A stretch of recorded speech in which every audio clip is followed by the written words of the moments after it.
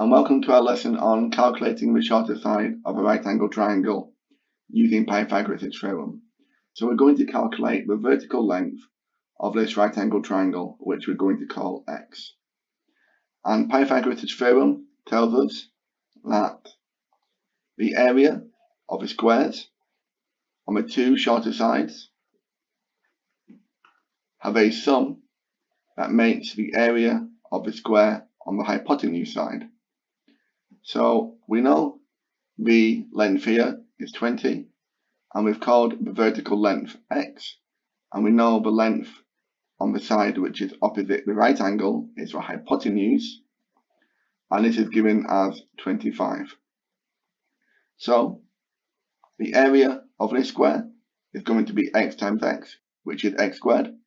The area of this square will be 20 squared and the area of the square on the hypotenuse side will be 25 squared. So x squared plus the 20 squared, which is the area of less plus the area of less, will equal the area of the square on the hypotenuse side. So now we can work this out. We have x squared plus 20 squared, which is 400, is equal to 25 squared, which is 625. So we can take away 400 from both sides. These will cancel, and we're left with x squared will equal 625, take away 400.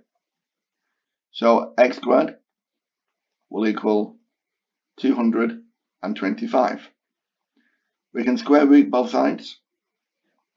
The square and the square root will cancel. So we're left with x is equal to the square root of 225, which is 15. So we know this length is equal to 15 centimeters. Okay, let's try the blue rectangle. So we're going to calculate the length of x. And you can see that because it's a rectangle, this angle here is a right angle.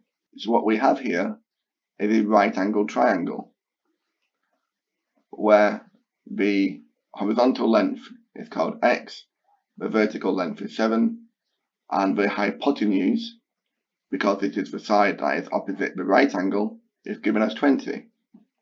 And Pythagoras' theorem is the square area of this side plus the square area of this side will equal the area of the square on the side of a hypotenuse.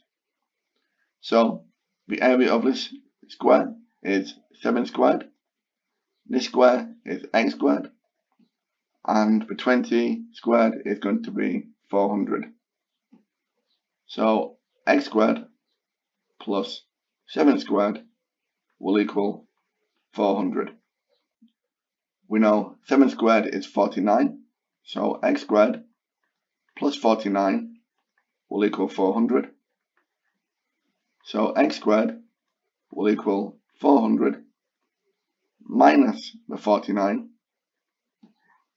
So x squared will equal 351. And by square rooting both sides, the square root and the square will cancel. So x is the square root of 351, which is approximately 18.7. Okay, let's move on to the next question. So do you want to pause the video and try and calculate the height of this isosceles triangle, where this length and this length are both 10 centimeters. And you can resume the video when you're ready. I'm going to work out the height of the isosceles triangle. But you can see that none of the angles are right angles. But if we drop this perpendicular line down from the center, we have a 90 degree angle here, where this length and this length are half the six. So they are each three centimeters. So we now have a right angle triangle, which has a base of three and a hypotenuse of 10 and a perpendicular height of x. So now we can use Pythagoras' theorem. So the area of a square on the side of x is x squared. The area of the square on the side of the 3 is 9. And the area of the square on the side of the hypotenuse is 100. So Pythagoras' theorem states that x squared plus the 9 is equal to 100. We can take away the 9 from both sides. So x squared will equal 91. We can do the square root of both sides because the square and the square root will cancel.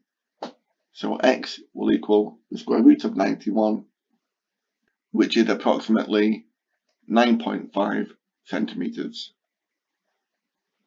Okay, do you want to try and work out the length of x in this question by pausing the video and you can resume it when you're ready. So to begin with, we're going to calculate the length of this side with the 15 and the 10 centimeters. And we have a right angle here, and this is the hypotenuse. We'll call this one, this side, y. So we have y squared plus the 10 squared will equal 15 squared. So y squared plus 100 will equal 225. So we'll take 100 away from both sides. And these will cancel. So y squared will equal 125. We'll do the square root of both sides and these will cancel. So y is approximately 11.2 centimeters. So now we know this length here is 8 plus 11.2, which is 19.2. So we have our final right angle triangle, where this is 10, and this is 19.2. This is x. We know the area of the squares on the two shorter sides add up to the square on the hypotenuse side. So 19.2 squared plus 10 squared will equal x squared.